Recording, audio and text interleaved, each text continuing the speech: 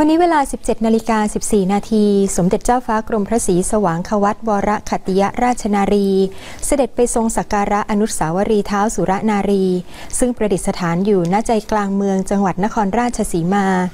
ในการนี้ทรงวางพวงมาลัย แล้วทรงจุดธูปเทียนเครื่องทองน้อยสักการะอนุสาวรีย์เท้าสุรนารี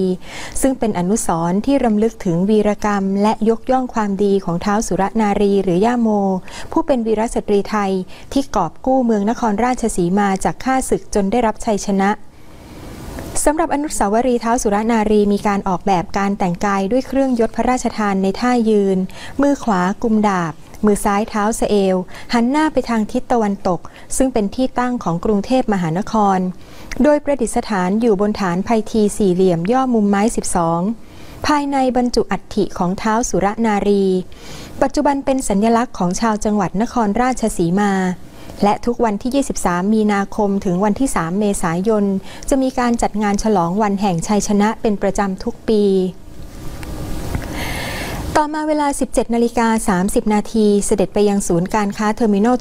21 อำเภอเมืองนครราชสีมา จังหวัดนครราชสีมา พระราชทานพระราชวโรกาสให้นายวิเชียร จันทรโณทัย ผู้ว่าราชการจังหวัดนครราชสีมา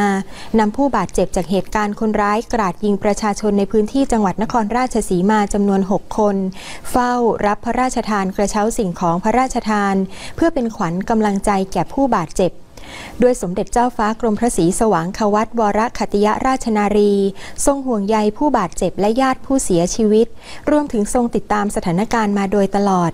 ซึ่งผู้มาเฝ้าทั้ง 6 คนนี้เป็นส่วนหนึ่งของผู้ที่บาดเจ็บจากการถูกคนร้ายยิงทั้งหมด 95 คน ทั้งนี้เหตุการณ์คนร้ายกราดยิงประชาชนในพื้นที่จังหวัดนครราชสีมา เกิดขึ้นเมื่อวันที่ 8 ถึง 9 กุมภาพันธ์ 2563 โดยศูนย์การค้าแห่งนี้เป็นหนึ่งในสถานที่ที่เกิดเหตุ และเป็นสถานที่สุดท้ายในเหตุการณ์กราดยิงประชาชน โดยเหตุการณ์ดังกล่าวมีผู้เสียชีวิตทั้งหมด 27 คน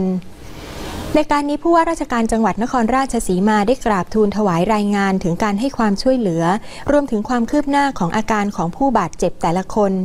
โดยสมเด็จเจ้าฟ้ากรมพระศรีสว่างควัตวรขัตติยราชนารี มีพระปฏิสันฐานพร้อมทั้งพระราชทานกำลังใจแก่ผู้บาดเจ็บทุกๆ คนที่ไปเฝ้า ยังความปราบปลื้มปิติ และสำนึกในพระกรุณาธิคุณเป็นล้นพ้น